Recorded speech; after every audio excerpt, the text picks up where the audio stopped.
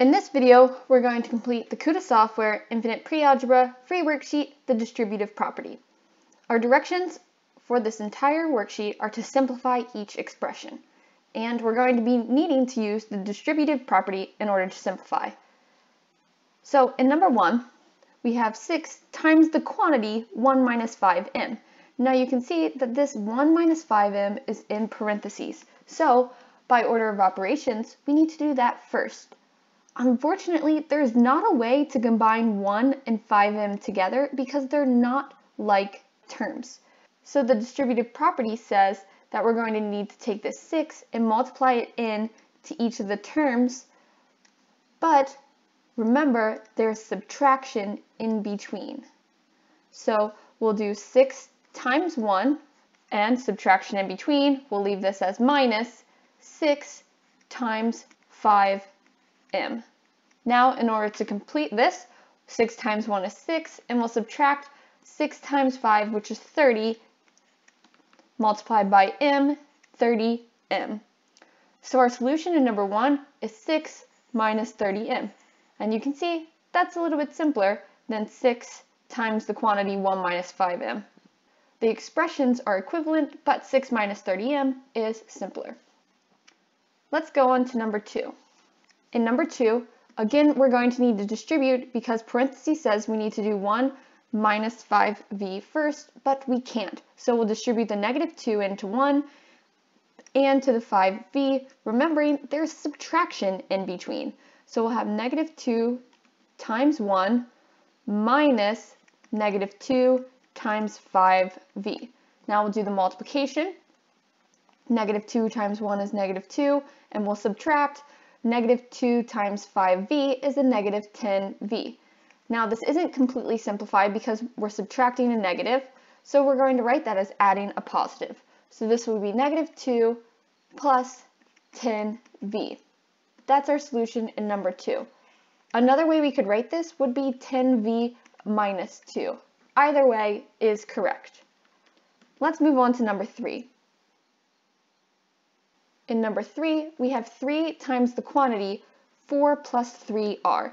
We can't compute 4 plus 3r, so we're going to distribute 3 into each of the terms. This time, however, there's addition in between. So we'll do 3 times 4, and we'll be adding that to, because this is addition, 3 times 3r.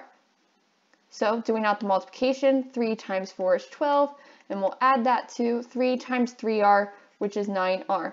Because remember, according to order of operations, multiplication comes before addition. 12 plus 9r is our solution in number 3. You could have also written this as 9r plus 12. Either way is correct. Now on to number 4.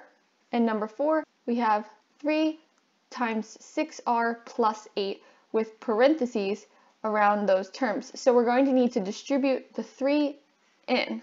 So we'll do 3 times 6r and then plus 3 times 8. 3 times 6r is going to be 18r and we'll add that to 3 times 8 which is 24. 18r plus 24 is our solution in number 4. Now time for number 5. In number 5, we have 4 times the quantity 8n plus 2.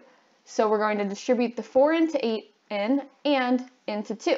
So we'll do 4 times 8n, and we'll be adding that to 4 times 2. 4 times 8n is going to be 32n, plus 4 times 2 is 8. 32n plus 8 is my solution in number 5.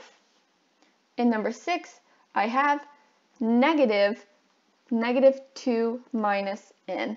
Now I'm supposed to do negative 2 minus n first, but the distributive property allows us to distribute our number into our parentheses. However, I don't have a number, I just have a negative. But you can think of this as a negative 1. When we distribute a negative 1 in, we're going to be switching the signs. So distributing this minus or this negative in, we're going to do the opposite of negative 2 minus n. So we'll have the opposite of negative 2 minus the opposite of n, or the opposite of negative 2 minus a negative n. So the opposite of a negative, that'll be a positive 2, and subtracting a negative, that'll be adding a positive n. 2 plus n, or n plus 2, is our solution in number 6. Now time for number 7. In number 7, we're going to be distributing in a negative 6.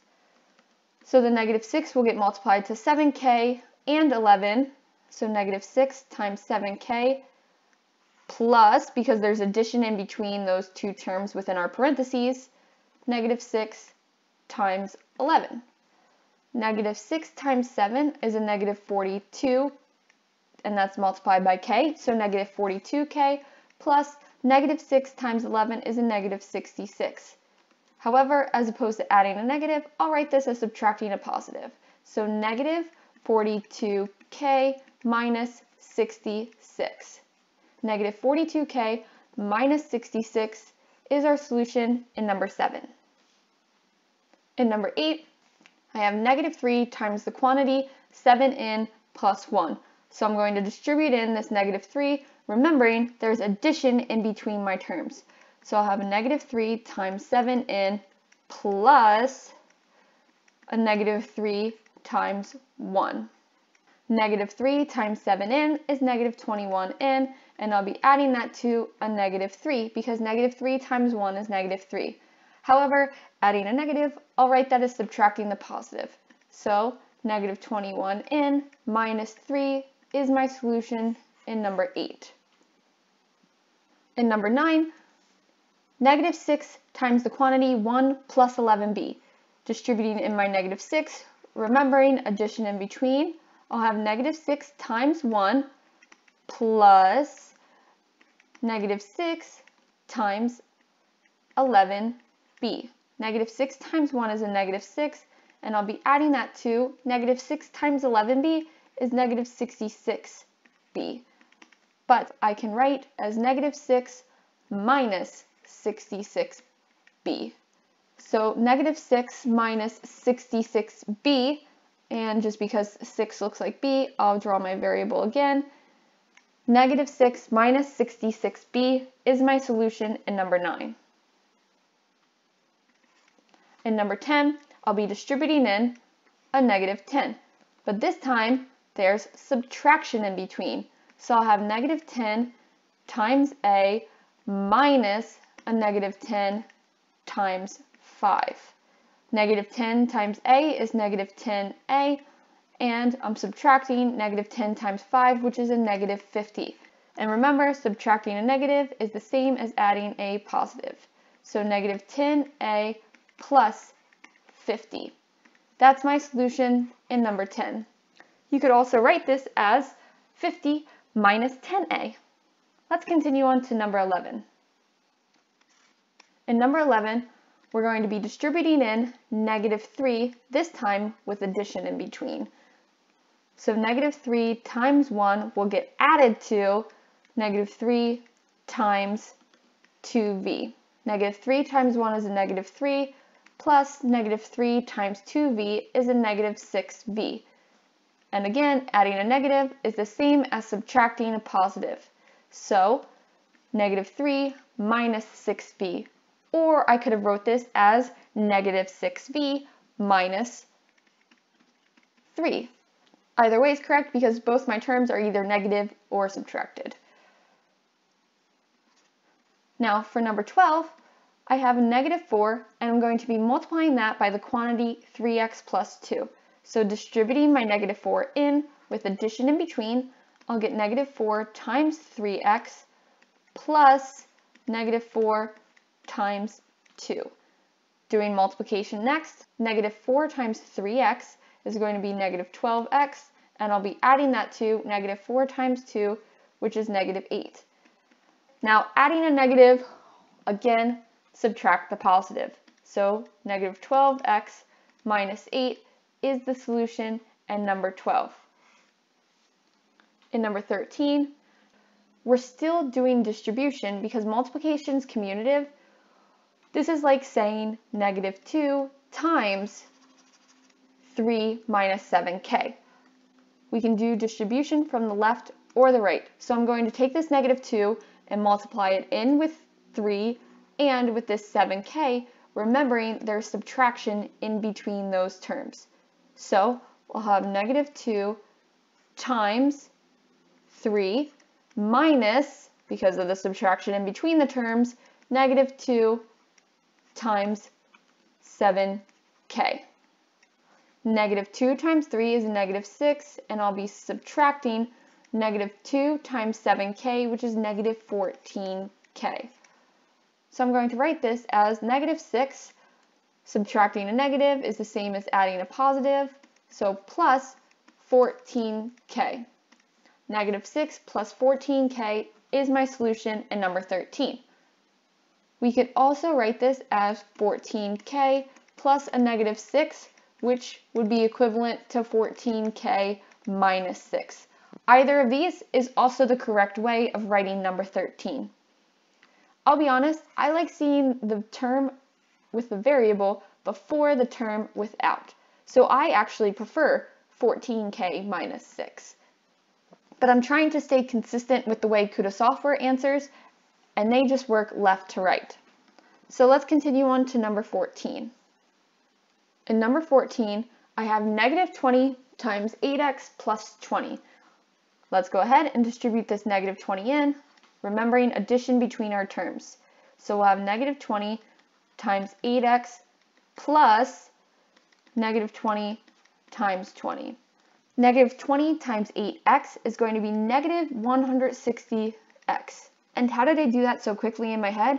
I did negative 2 times 8, which is 6, which is a negative 16, and put an extra 0 on the end for negative 20 times 8. So negative 160x plus negative 20 times 20 is going to be negative 400. And again, how did I do that so quickly? I did 2 times 2, which is 4, and I put two zeros on the end. So now I know, rewriting this, that I'll have negative 160x minus a positive 400 because adding a negative is the same as subtracting the positive. Negative 160x minus 400. Now, number 15. We're almost finished up. This is our second to last problem. Again, we're going to be distributing from the right. So we'll bring this negative 15 in with 7 and with 19b. But look, there is addition in between. So we'll do negative 15 times 7 plus, because of the addition in between the two terms, negative 15 times 19b. So negative 15 times 7, that's going to be negative 105, and then I'll add that to negative 15 times 19 is negative 285, and then that's all multiplied by b. If you need to see those done vertically, 15 times 7, 5 times 7 is 35, carry the 3, 1 times 7 is 7, plus 3 is 10, so there's our 105, which is negative, and 15 times 19, 5 times 9 is 45, write the 5, carry the 4, 1 times 9 is 9, plus 4 is 13, now I need my placeholder 0, because I'm using this number now as opposed to my 9. 5 times 1 is 5. 1 times 1 is 1. Adding those, 285, and it's negative. So rewriting this, I have negative 105 minus 285b. That's my solution in number 15. You could also write this as negative 285b minus 105. Either way is correct. Now, lastly on this worksheet, we're going to do number 16, which again, we're going to be distributing from the right. So 14 will get multiplied to x, and 1 with addition in between. So 14 times x plus 14 times 1 is 14x plus 14. That's my solution in number 16, the last solution on this worksheet. If you have any questions, leave them in the comments below. Also, become a patron. click the Patreon link to find out more information. But as always, the best way to support me is to like, subscribe, and share. Thanks again.